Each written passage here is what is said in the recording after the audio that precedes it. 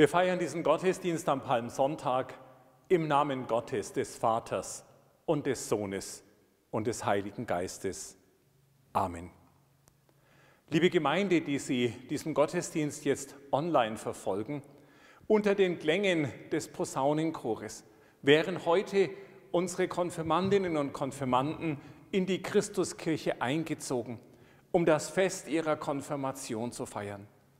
Wir haben die Klänge des Posaunenchores von einer Aufnahme abgespielt gehört und haben für den Posaunenchor stellvertretend Matthias Schneider, der die erste Stimme dieses Chorsatzes Heiland Kessidre gespielt hat, hier in der Kirche. Ich danke Matthias Schneider, ich danke Katharina Flirl, ich danke Thomas Mayer und Christina Kanaan, meiner Frau und Sima Taher Bachrami, dass sie diesen Gottesdienst mit ausgestalten.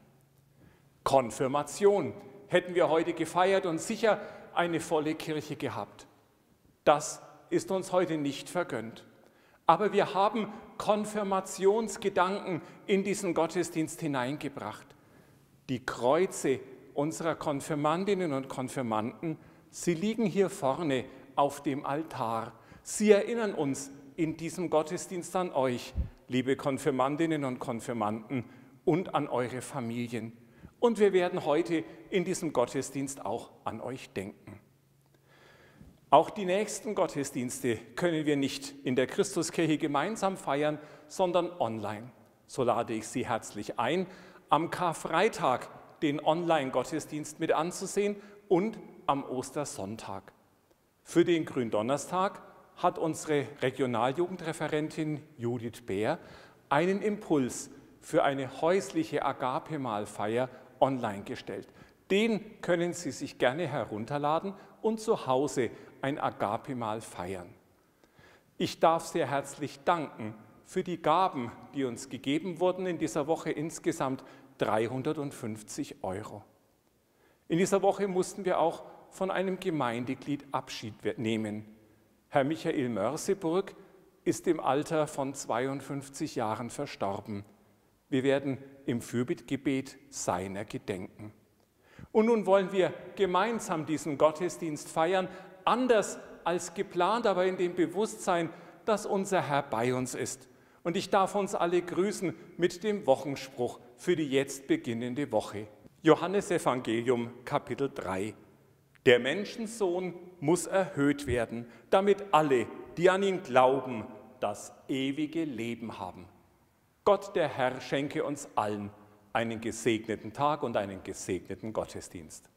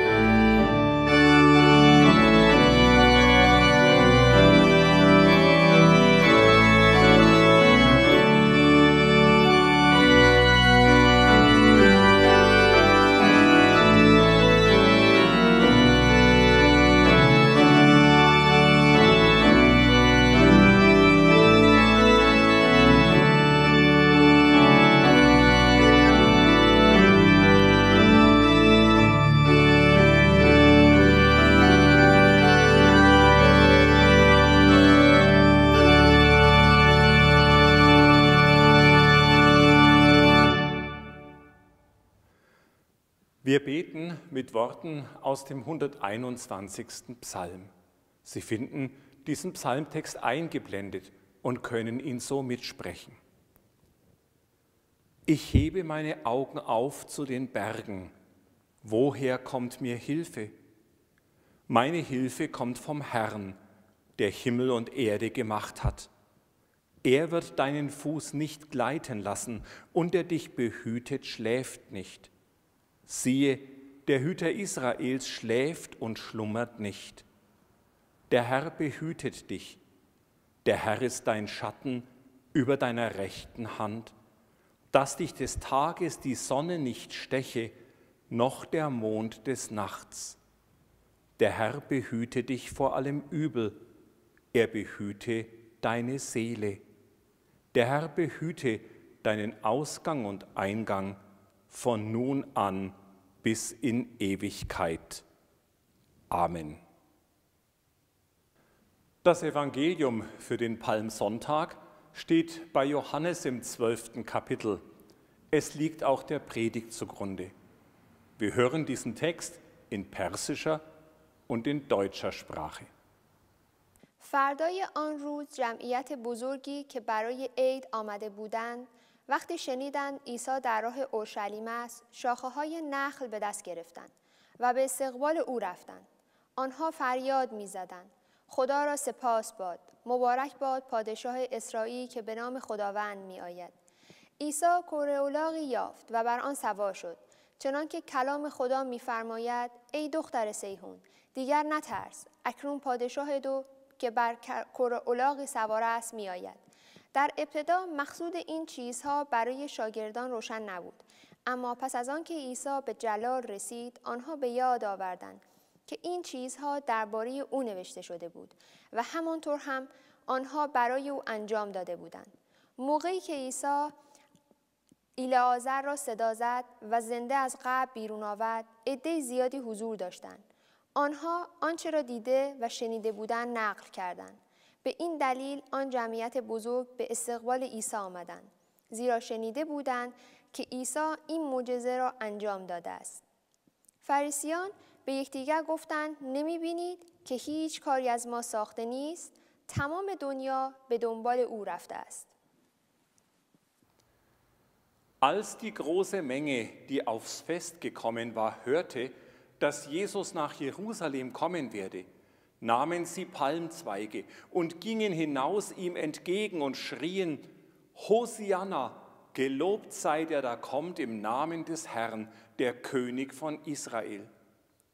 Jesus aber fand einen jungen Esel und setzte sich darauf, wie geschrieben steht, Fürchte dich nicht, du Tochter Zion, siehe dein König kommt und reitet auf einem Eselsfüllen. Das verstanden seine Jünger zuerst nicht. Doch als Jesus verherrlicht war, da dachten sie daran, dass dies von ihm geschrieben stand und man so an ihm getan hatte. Die Menge aber, die bei ihm war, als er Lazarus aus dem Grabe rief und von den Toten auferweckte, bezeugte die Tat. Darum ging ihm auch die Menge entgegen, weil sie hörte, er habe dieses Zeichen getan. Die Pharisäer aber sprachen untereinander, ihr seht, dass ihr nichts ausrichtet, siehe, alle Welt läuft ihm nach. Amen. Ehre sei dir, Herr.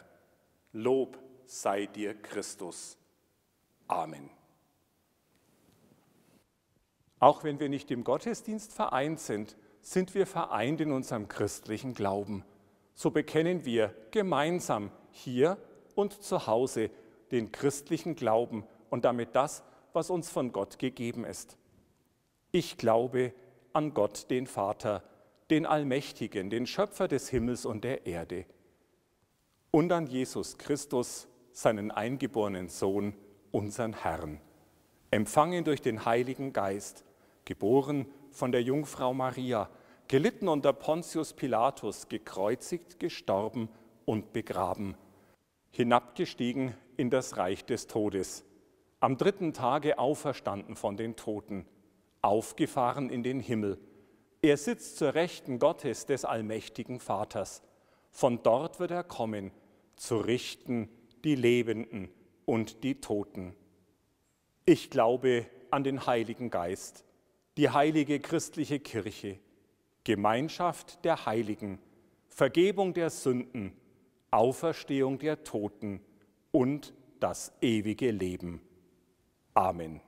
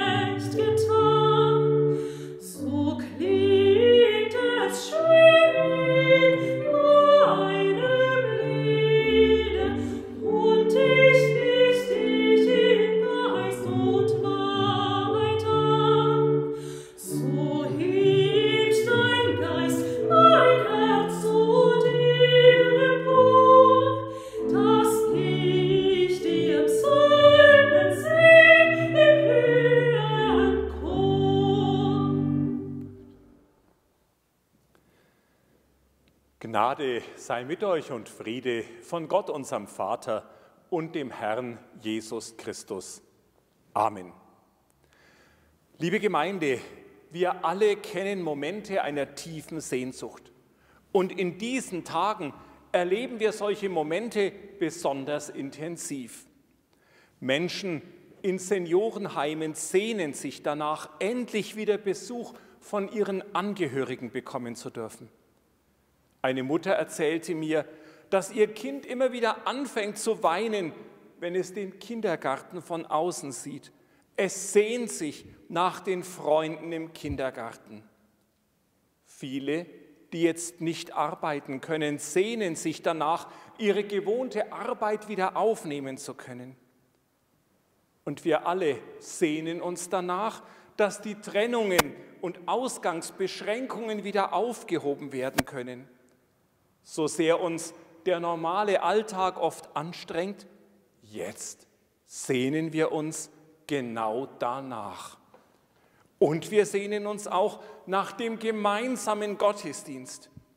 Die Konfirmandinnen und Konfirmanden haben sich nach dem Tag ihrer Konfirmation gesehnt und mussten jetzt die Konfirmationsfeier verschieben. Sehnsüchte. Gerade jetzt sind sie besonders stark. Auch die Menschen zur Zeit Jesu waren voller Sehnsucht. Sie sehnten sich danach, dass endlich Friede würde in ihrem Land, dass die Römer, die mit harter Hand und militärischer Gewalt regierten, aus dem Land geworfen würden. Sie sehnten sich danach, dass Gott seinen Messias schicken würde, der ihre Sehnsucht stillt. Und als bekannt wurde, dass Jesus sich der Stadt Jerusalem nähert, da ging diese Nachricht wie ein Lauffeuer durch die Stadt. Jesus kommt. Jesus, der vor einigen Tagen den toten Lazarus ins Leben zurückgeholt hat. Jesus, der so viel Wunderbares getan und gesagt hat. Die Menschen stürzen hinaus, reißen Palmzweige ab, um Jesus zuzuwinken die Transparente der damaligen Zeit. Und als Jesus sich naht auf einem Esel, da gibt es kein Halten mehr. Immer lauter ertönen die Jubelrufe, Hosianna, gelobt sei der da kommt im Namen des Herrn, der König von Israel. Hosianna, Mit diesem Jubelruf wurde ein König begrüßt. Und dieser Jubelruf sollte auch dem Messias gelten, dem Sohn Gottes. Indem die Menschen Hosianna rufen, drücken sie aus, wie groß ihre Hoffnung in Jesus ist. Und wenn der Sohn Gottes gelobt wird, dann kann das Lob gar nicht laut genug sein. Freilich, liebe Gemeinde, das Wort Hosianna ist eigentlich nicht einfach ein Jubelruf, sondern genau genommen eine Bitte. Es stammt aus dem 118. Psalm und da heißt es, O Herr, hilf, o Herr, lass wohl gelingen. Hosianna, Hosianna, das heißt wörtlich übersetzt, hilf doch. So erklingt vor Jerusalem nicht nur ein Jubelruf, sondern zugleich eine Bitte. Eine Bitte um Hilfe. Die ganze Sehnsucht der Menschen liegt in diesem Ruf beschlossen und die tiefe Hoffnung, dass Jesus sich im Auftrag Gottes der Sehnsüchte und Nöte der Menschen annimmt. Hosianna, Herr, hilf doch, weit hinaus erklingt der Ruf der Menschen. Liebe Gemeinde, auch unsere Kirchengemeinde ruft das Lob Gottes und unsere Bitte hinaus, weit hinaus in unsere Stadt. Unsere Gemeinde tut das wie tausende von anderen Kirchen durch unsere Kirchenglocken. Unsere Kirchenglocken wurden vor genau 85 Jahren am 31. März 1935 vom Bahnhof abgeholt und in einem riesigen Festzug hierher zur Christuskirche gebracht. Noch am gleichen Tag wurden sie in den Glockenturm hochgezogen und eingebracht. Drei Bronzeglocken waren es. Zwei große Bronzeglocken wurden im Zweiten Weltkrieg wieder demontiert. Sie mussten für kriegswichtige Zwecke, wie das damals hieß, eingeschmolzen werden. Die kleine Glocke, die Bronzeglocke, ist uns erhalten geblieben. 1951 wurden die fehlenden beiden Glocken durch drei neue Eisenglocken ersetzt. Die vier Glocken zusammen bilden nun das Geläut unserer Christuskirche und rufen zu den Gebetszeiten den Menschen zu, haltet ein und denkt an Gott. Unsere Kirchenglocken rufen auch zu besonderen Festen in die Stadt hinein. Vorne auf der ersten Glocke steht die Inschrift, die Lebenden ruf ich zur Andacht herzu. Und auf der Glocke 2 steht, den Toten läute ich Fried und Ruh. Für Lebende und deren Feiern und für Verstorbene läuten unsere Kirchenglocken. Wenn ein Kind getauft wird, bei einer Konfirmation, bei einer Trauung und natürlich auch bei einer Beerdigung. Vor allem aber läuten unsere Glocken mit vollem Geläut, wie wir es in der Videoaufnahme am Anfang gesehen haben, zum Gottesdienst. Liebe Gemeinde, das Läuten der Glocken das ist für uns zu einer Selbstverständlichkeit geworden. So selbstverständlich, dass es oft im Alltag kaum wahrgenommen wird. In den letzten Tagen aber hat sich herausgestellt, dass das Glockenläuten den Menschen ganz viel bedeutet. Vor zwei Wochen kam ein Aufruf über die sozialen Medien um 21 Uhr läuten alle Kirchenglocken. Haltet euch bereit zum Gebet und stellt Kerzen in die Fenster als Zeichen dafür, dass wir im Gebet für die Opfer des Coronavirus zusammenstehen. Nun stand das Telefon bei uns nicht mehr still. Viele Gemeindeglieder und völlig Fremde riefen an und fragten, stimmt das? Läuten heute Abend um 21 Uhr wirklich alle Glocken? Wir haben uns schon bereit gemacht, wir werden auf jeden Fall mitbeten. Leider musste ich den Menschen, die damals nachfragten, sagen, nein, ein Internetaufruf reicht nicht aus, um die Glocken in Bewegung zu setzen. Wir folgen einer Leuteordnung. Aber trotzdem ist es gut, wenn wir um 21 Uhr alle miteinander beten. Und das haben dann auch viele getan. Aber zu unseren Gebetszeiten, morgens, mittags und abends, da läuten unsere Glocken und laden ein, auch zu diesen Gebetszeiten ein Vaterunser zu beten. Und so sind wir dann alle im gemeinsamen Gebet vereint mit denen, die ebenfalls das Gebet des Herrn sprechen. Bitte und Jubel. Das trägt unsere Kirchenglocke, das tragen unsere Glocken überall hinaus in die Welt. Bitte und Jubel erfüllte damals die Menschen beim Einzug in Jerusalem. Aber sie hatten Erwartungen an Jesus, die eigentlich an Jesus vorbeigingen. Denn Jesus wollte nicht als Kriegsherr kommen, sondern er wollte den Menschen den Frieden und die Erlösung bringen. Er ist der Retter, den Gott geschickt hat und sein Name heißt, Gott hilft, Gott rettet. Aber die Menschen hatten eine andere Heilserwartung als die, die Jesus gebracht hat.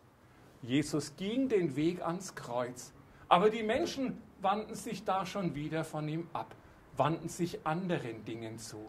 Menschen wenden sich schnell hin und her. Menschen sind unbeständig und oft sehr kurzatmig. Gott sei Dank ist unser Herr beständig. Er ging den Weg ans Kreuz aus Liebe zu uns. Und er ist weiterhin beständig in seiner Liebe und in seiner Fürsorge für uns. Die kleinste Glocke ist uns erhalten geblieben im Krieg, eine Bronzeglocke. Diese kleinste Glocke läutet oft zum Gebet. Und diese kleinste Glocke wurde im Jahr 1934 in Apolda in Thüringen gegossen und wie gesagt 1935 hier eingehängt. 1934, das war die Zeit der Machthaber, die für sich ein tausendjähriges Reich propagierten und die das Land in unsagbares Leid und in Schutt und Trümmer brachten und die die ganze Welt mit einem Krieg überzogen. 1935 läutete diese Glocke. Sie läutete den Krieg über. Sie läutete 1945, als der nationalsozialistische Terror vorbei war. Und sie läutete weiter, bis sie 1951 ihre eisernen Geschwister zur Seite gestellt bekommen hat. Diese Glocke läutet seit Jahrzehnten. Und in dieser dunklen Zeit des Nationalsozialismus, da wurde in diese Glocke eine Inschrift eingegossen, die mich selbst tief beeindruckt hat. Da heißt es, Menschen kommen und gehen. Gott bleibt bestehen. Wie viel ist in den vergangenen 85 Jahren gekommen und gegangen? Wie viel ist auch in den letzten Wochen gekommen und gegangen? Wie viel verändert sich in unserem Leben? Gottes Liebe aber bleibt bestehen. Das gilt damals 1934 genauso wie jetzt im Jahr 2020.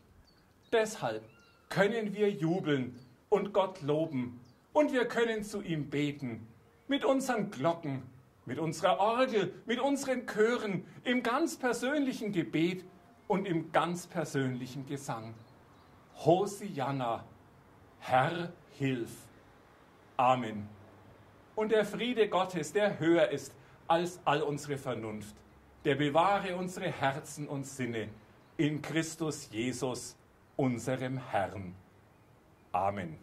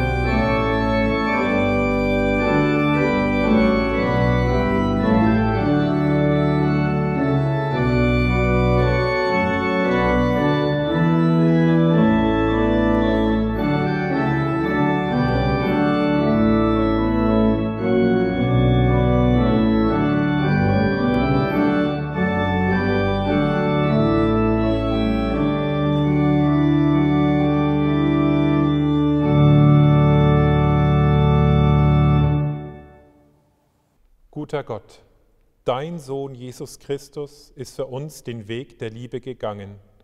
In seinem Namen beten wir zu dir. Wir bitten für alle Menschen, die in diesen Tagen in Quarantäne sind, für alle, die von ihren Lieben getrennt sind, für alle, die einsam sind und sich verlassen fühlen. Wir bitten dich für die Menschen, die in den Flüchtlingslagern auf Hilfe hoffen, für die, die leiden unter Krieg und Gewalt. Erbarme dich über ihr Leid. Gott, unser Vater, wir bitten dich, erhöre uns. Wir bitten für alle Kranken, die um Genesung ringen und für alle, die ihnen beistehen als Pflegekräfte und Ärzte. Wir beten für alle, die an vielen Orten und mit großem Einsatz dazu beitragen, dass unser Leben erhalten wird. Sei ihnen nahe, beschütze sie und schenke ihnen Kraft und Ausdauer. Gott, unser Vater, wir bitten dich, erhöre uns. Wir bitten dich für unsere Gemeinde. Lass uns innerlich zusammenstehen und füreinander da sein, auch wenn wir äußerlich getrennt sind. Wir befehlen dir unsere Schwestern und Brüder in Tansania an. Behüte, bewahre und stärke sie. Lass sie im Vertrauen auf dich Trost und Ermutigung finden.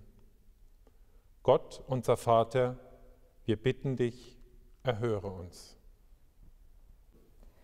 Wir bitten für alle Sterbenden und für alle, die uns im Tod vorausgegangen sind.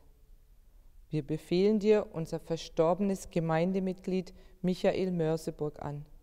Schenke ihm das ewige Leben bei dir und tröste alle, die um ihn trauern. Gott unser Vater, wir bitten dich, erhöre uns. Wir bitten für unsere Konfirmandinnen und Konfirmanden. Halte sie in deiner Hand Lass ihre verlängerte Konfirmandenzeit für sie und ihre Familien eine Zeit des Segens werden. Gott, unser Vater, wir bitten dich, erhöre uns. All unsere Bitten bringen wir vor Gott in dem Gebet, das Jesus uns gegeben hat. Vater unser im Himmel, geheiligt werde dein Name, dein Reich komme, dein Wille geschehe wie im Himmel, so auf Erden. Unser tägliches Brot gib uns heute und vergib uns unsere Schuld, wie auch wir vergeben unseren Schuldigern. Und führe uns nicht in Versuchung, sondern erlöse uns von dem Bösen. Denn dein ist das Reich und die Kraft und die Herrlichkeit in Ewigkeit. Amen. Menschen kommen und gehen, Gott bleibt bestehen. So hat es uns unsere kleinste Glocke im Turm zugerufen. Gott bleibt bestehen und seine Liebe zu uns bleibt bestehen. Das sagt er uns im Segen. Der Herr segne euch und behüte euch.